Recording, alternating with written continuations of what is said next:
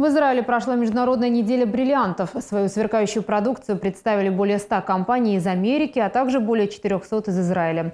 Ну а среди покупателей делегации из 22 стран, включая Россию, Индию и Китай. Под пристальным взором охраны покупатели с лупами ходят среди стендов, на которых представлены драгоценные камни на общую сумму 2 миллиарда долларов. К примеру, вот этот 32-каратный красавец стоит 850 тысяч долларов США. За нами наблюдает весь мир. Добывающие компании, производители ювелирных изделий, все они желают нам успеха, потому что мы ведем эту отрасль в новый сезон, праздничный. И я уверен, что у нас получится. Здесь видны энергетика, счастье, улыбки, с которыми возвращаются покупатели и компании. Израиль уже является ключевой площадкой для торговли бриллиантами в мире, будучи лидером по их огранке. 20% всего промышленного экспорта страны приходится на эти драгоценные камни.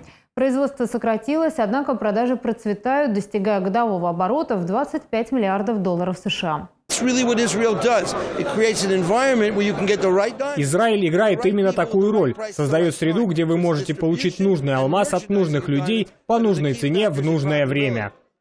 Покупатели бриллиантов очень осторожны. Пришло время покупать, нужно ли мне подождать, может еще слишком рано, может цены упадут. И вдруг они видят, да, люди торгуют, лучше уж нам тоже действовать сейчас, а то вдруг цены поднимутся. Все это очень иллюзорно действует на психологическом уровне и в конце концов превращается в реальные деньги. Рэйчел приехала из Гонконга специально для того, чтобы подобрать себе нужный бриллиант.